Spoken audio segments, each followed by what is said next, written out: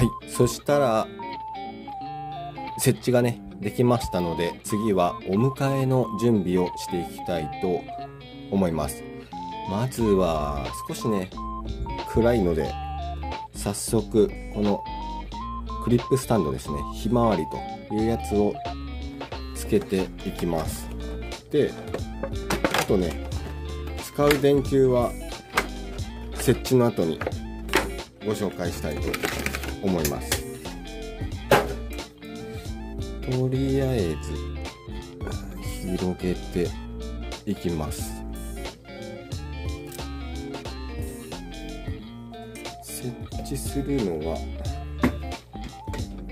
こうか。えー、っとこうするからこうか。しますか？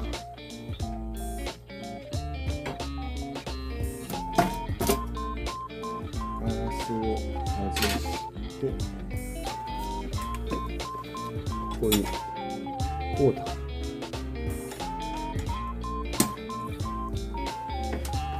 そしてこの線は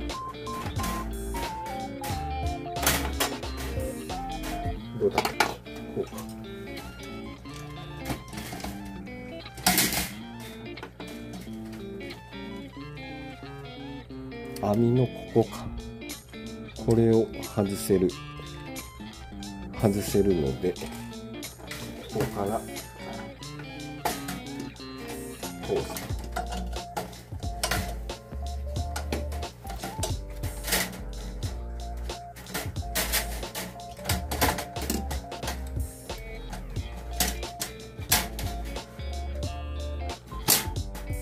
映ってなかった。映ってなかったけどこれでこれのね設置は完了。そして電球の紹介はこちらですね。UAB とバスキングこれがね一つでできるということでこちらを選びました。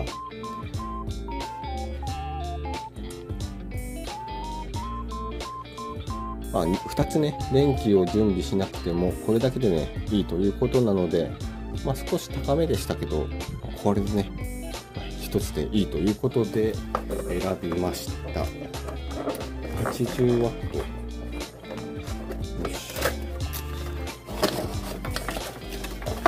まあ、この部屋はね、25度から6度で保たれているので、まあ、バスキングは必要なかったかもしれないけど、あとはね、回して入れるだけ。わあちょっとねこれ高さが低かったな。高さがないな。どうしよう。わあ高さがない。上からするしかないかな。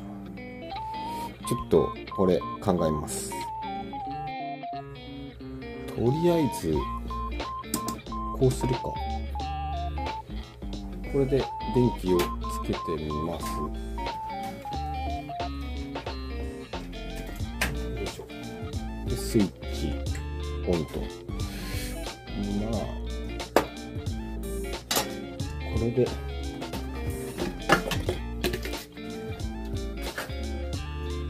ここにね石とか流木をね持ってくればいいかなといった感じかな。でもちょっとやっぱりね高さが低いのが気になるな。変更します。変更変更します。ライトは直接もうね上は逃げたりすることないと思いますけどまあ、100均でね、網かなんか買ってきて防ごうかなとは思うんですけど、一旦これでいこうと思います。まあ、脱走することはね、ないと思いますので、上から直接、えー、吊り下げております。で、次に入れていくもの。こちらですね。ウォールナットのえー、やつですね太あごのくるみビーターと、えー、書いているこちらを敷敷いていきたいと思いますくるみのからですね。こちらを床材として使用します。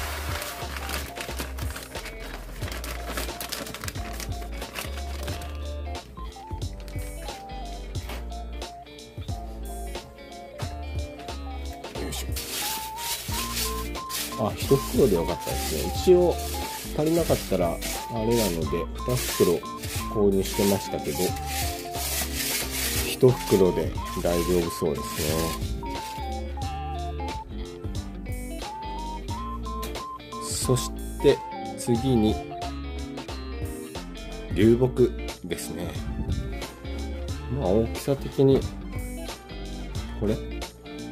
良さそうですね。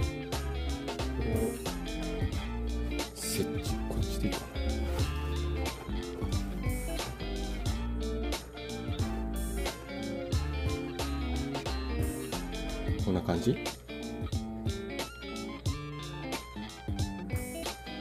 そして。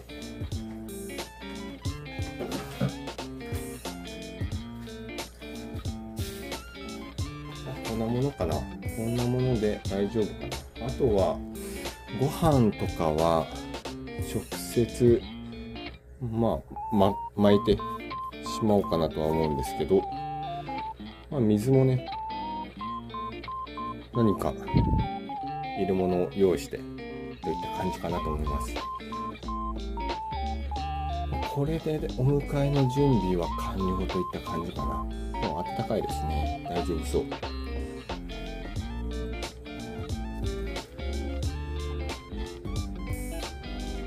実はね今日お迎えをしました。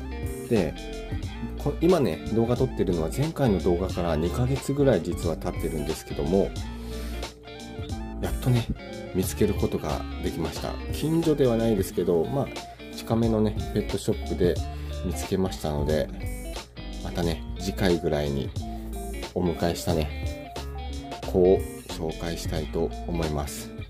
気になる方はね是非チャンネル登録してお待ちいただけると嬉しいです。それではご視聴ありがとうございました。